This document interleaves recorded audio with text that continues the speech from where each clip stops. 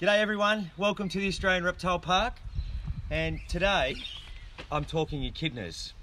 Now I'm not sure how long this little girl will sit in my arms for and needless to say they are incredibly spiny.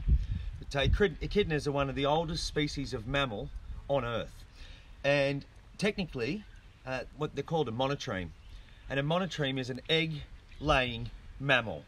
And just think about that. So um, this, whilst different to us, uh, it, it is a warm-blooded mammal, but a female lays an egg. And then she doesn't have a pouch like a kangaroo, but just down in here on her belly is uh, a little fold of skin, and it's like a pseudo pouch. So while she's uh, ready and, and breeding, that little fold of skin will swell. So she lays an egg and she incubates it. So she wraps around it, keeps that egg warm.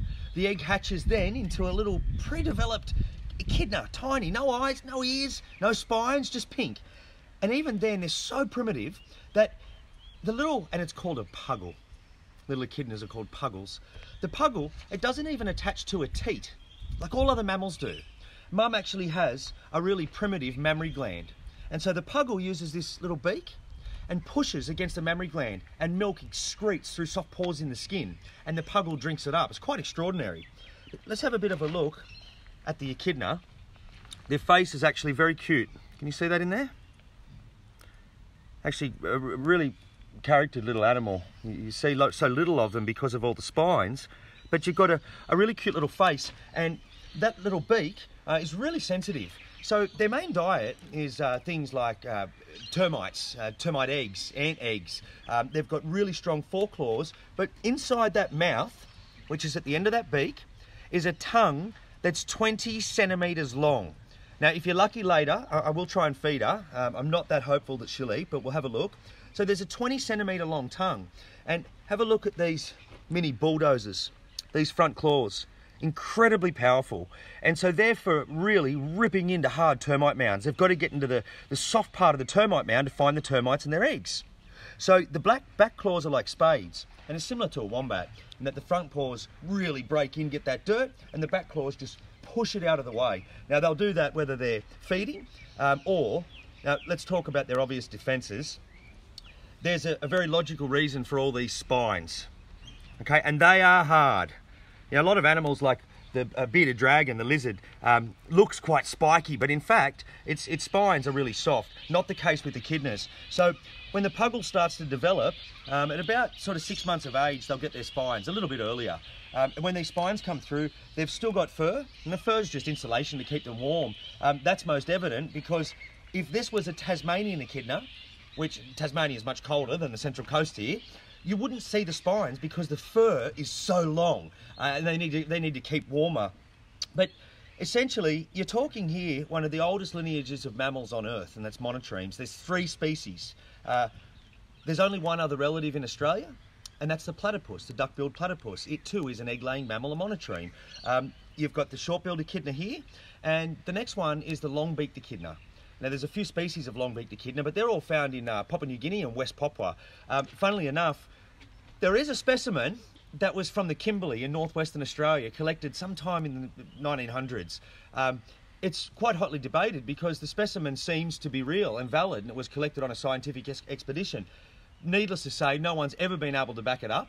Um, but it would seem at some point that connectedness between Northern Australia and New Guinea, we used to have long-beaked echidnas in Australia. But now, long-beaked echidnas are isolated to New Guinea, short-beaked in Australia and New Guinea, um, and the duck-billed platypus is only found in Australia. Now, some of the really interesting things with echidnas are, I have hand-reared almost every Australian marsupial you can think of. Um, and critically with them, when you rear them, you need to keep them warm. You need to keep them quiet. Um, you need to keep their body temperature up because they're pink and they normally get all that uh, insulation and heat from mum in a pouch. But we've got to provide that. Um, a normal joey, let's, let's just say kangaroo, would have five feeds a day, artificial milk feeds, and at some point get it onto solids. But they grow very quickly. Now with the echidnas, the body temperature, and remember it's a mammal, monotreme, yes, but just like you and I, warm-blooded. But the thing with the echidnas is that its body temperature right now is about 25 degrees. That's really cool, really cool. I mean, if we get down to 33 or so for an extended period, we're dead. So it's 25 degrees. And the thing to note with that is that when you've got a puggle, and I've actually uh, reared a couple of puggles, and one of them was found, a beautiful family, but they were doing work to the wall of the dam. They dug up a puggle. Mum's nowhere in sight, so they brought him here to the reptile park. His name was Eddie, and I raised him. But you try keeping something at 25 degrees. It's not easy, and every part of you wants to keep it hot like a normal Joey. But 25 degrees, or you'll kill them. And would you believe it? I had to feed him once every five days. Can you, can you even conceive that for a mammal, a monotremes? So once every five days, and he would drink, you know, nearly half his body weight. And from that one feed, before it got another five days when I'd feed again, he'd put on like 20% of his body weight. It was just extraordinary. So you're talking about something that echidnas used to roam the Gondwanian forests, you know, and that's when Australia was a, a giant landmass with Asia and Papua and all of those places. And at that point, it was a real temperate place. And temperate meaning that it was much cooler. Um, even the arid interior of Australia was heavily forested, uh, and echidnas and platypus and those real old world mammals were what frequented all those forests. Now, come over here and have a look. Remember I said that uh, they've got a tongue that's 20 centimetres long, and it's, it's, it's, very sticky. So when they stick that tongue out into a termite's nest, um, the tongue goes in, and it comes out with termites stuck all over it. So we actually just mimic that with the way that we feed. So this is a, a really high protein um, supplement diet uh, for echidnas specifically. And it's in a nice clean little base here and the lid goes on. And so the concept is that the echidnas come up, they put their nose in and essentially it's just like them feeding naturally. Um, and we'll have a look at that and see what she'll do. So they go down and we move them around each day, put them in different places. We've got another big female in here. Look at that. So do we want to have a few questions? Yeah, uh, people want to know, does it hurt when you touch their spines? Does it hurt when I touch the spines? Yes. Um, it's not easy to hold an echidna. Um, this little girl is very gentle and she's very calm. So the thing is, it's like a bed of nails. So each of these spines too are dipped with a little bit of bacteria on the end. So if they pierce your hand, um, you actually end up with a really big welt that's quite uncomfortable. But it's like a bed of nails. So I show you, for example, uh, one of these spines would punch straight into my hand. But if I hold her like this, it's okay, for a minute anyway. But yes, they hurt. What do the eggs look, look like when they hatch? Yeah. Not hatch, but when yep, they... Yep, so when an echidna lays its eggs, um, what they do is, um, the egg is actually um, really small, about the size of a marble. Uh, and it's white and it's soft shelled. So it's, it's quite a leathery egg, which is really similar to a reptile egg like a python. Um, but they're very, very small, about the size of a marble. And when the little puggle hatches, um, again, it's only, you know, you're talking so small, uh, really small, pink, undeveloped. I'll just pop her down and see if she wants to have, just see. You'll see the behaviours here as well. Why do you think they have spines? Um, it's to defend against predators. And so if I touch here, look, that side goes down. If I touch over here, that side goes down. If I touch at the back, every part of the body has spines to protect itself. And their predators are things like uh, eagles, birds of prey, Tasmanian devils, uh, tiger quolls, dingoes, goannas. But really, they just can't get a mouthful of echidna because that's exactly what they do there.